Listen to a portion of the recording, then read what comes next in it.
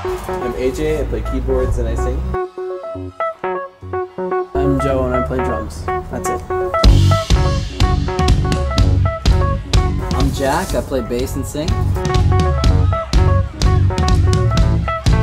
Howdy, I'm Curtis. I play guitar and sing.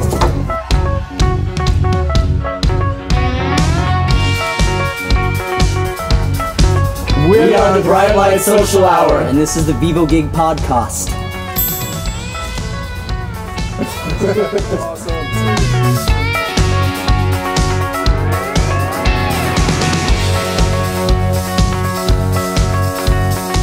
guess I'm, I kind of our core elements are, uh, you know, like the old kind of hard rock, kind of classic stuff, you know, and, and mixed with uh, old soul and kind of funk influences, along with a lot of modern sort of dance and house patterns and arrangements we use a lot too. So we really kind of just mix all that stuff together, and I mean, at least the stuff that we currently put out, I'd say, draws mostly from those elements, but we'll see where it goes in the future.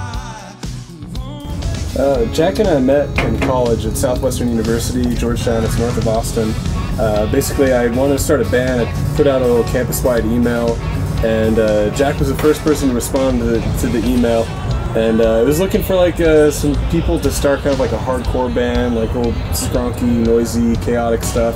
And Which I was so excited. I bands, thought I was the only person on campus who listened to that kind of stuff. So I was like, I'm down. and it was weird because I had this instinct that, that Jack was the one that responded to the uh, to the email because I had seen him around campus before but never met him and he's like had long hair and like you know like a, did you have a lip ring or Yeah, a nose ring? lip ring. ring and you know like you know bands and stuff. He looked like the one guy on campus that might like hardcore or something like that. So I was like, man, I wonder if I wonder if it's that guy. And then sure, sure enough, like a Sunday afternoon for practice, uh, you know he showed up and you know we started the band.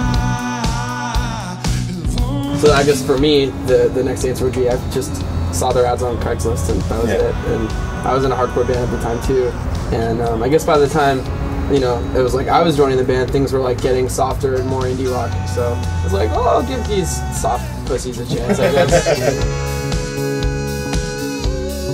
I partied with Jack's brother back in high school. He's So now Jack- our manager, tour manager. Tour manager, yeah, and uh, and so we knew each other as like you know I knew Jack like we would randomly party with each other at back in like mom's house and uh, and then from there uh, we you know in school yada yada yada years passed and then uh, randomly Jack like knew I was doing music and uh, he like said you know they might need a keyboardist whatever and like eight months passed and I come out to a uh, Halloween show and uh, we end up like partying I, I meet everybody and I had seen them before like back in the day with Alex like you know That's right. before. I was like, come out, meet the band, And, come check out uh, a show, and hang out, party with us. Well, yeah. So like you know, show was great, whatever, and uh, and then we all partied back here afterwards. And like the first night, like like these two guys had ever met me, I ended up passing out in the chair, and they're like waking up, just all like destroyed and stuff. And um, it was a proper way to start everything. Yeah, I So rem- I remember he came, showed up to practice, and I was like, "Oh, you're the guy that passed out on the green couch." As a oh, chair. Oh, cool. It's As a chair. beautiful, Whatever. beautiful chair.